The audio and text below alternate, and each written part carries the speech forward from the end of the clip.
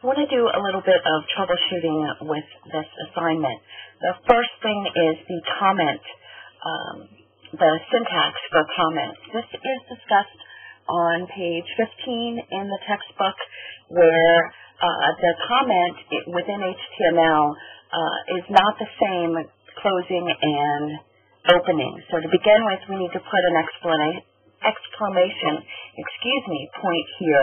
Notice that in Notepad++ the text turns green too, which gives us really good visual indicator that that occurred.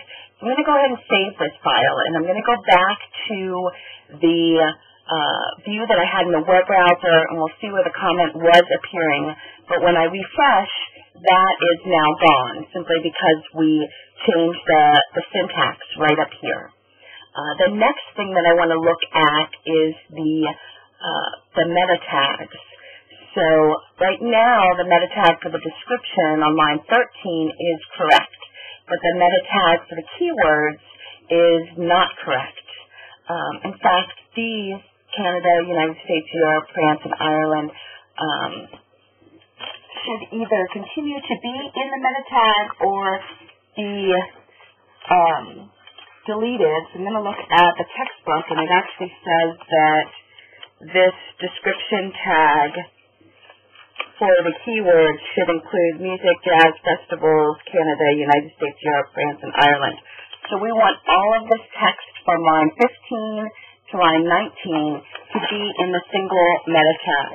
Uh, the meta element is discussed on page 47. And we're looking at the one for keywords, which is about midway down the page. But essentially, uh, we need to delete some of these unnecessary tags because Canada, United States, Europe, France, and Ireland all continue as keywords within that tag. So I'm going to go ahead and delete these.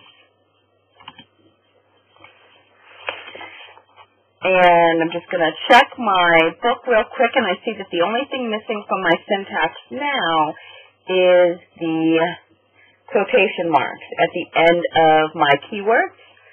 And now the meta tag is correct. And if we look at the one beforehand, you can see how line 13 here and line 16, the syntax is very similar because within the meta element you just have meta name, and then in quotations, the name of the category, content, and then again in quotations, the data for the content. And this is one of those tags that opens and closes within the same tag. One of the rare times that we, we come across that. So I'm going to go ahead and save this and go back to my page and refresh. Now this time there, oops, we've got something going on with the image. I was going to say this shouldn't have actually caused a change. So if there's a change here, it must be because we deleted something that kept the image from appearing beforehand. Uh, the next change I'm going to do, which is actually the last change I'm going to do so far, although this isn't the only remaining error in the document, is that I'm going to make sure that we correspond to the proper framework for HTML. Remember that we have the head section, and within the head section we see things in the back end things like the title tags and the meta tags. The meta tags aren't actually visible on the page. They're things that a search engine, a spider or bot belonging to a search engine would use to try to index the page. While the items in the body tag are the ones that actually do uh, appear on the main content of the page.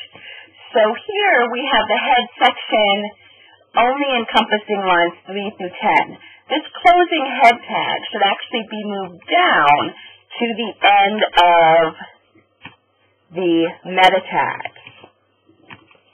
So I'll go ahead and do that. I personally, I like to indent within these sections. I feel that it makes it a little bit easier to understand that all of this happened within the, the head section, but the um, the HTML will not be interpreted any differently if we forget to include that. I just noticed, I don't know if I accidentally deleted that or if I hadn't included it to begin with, but there is no wicket before that meta tag there, so I just went ahead and added that. Okay, so I'll go ahead and save and refresh, And there we go. So that was not, that's not the only errors in the document. I just wanted to um, address those first few. So I'm going to go ahead and end the video now.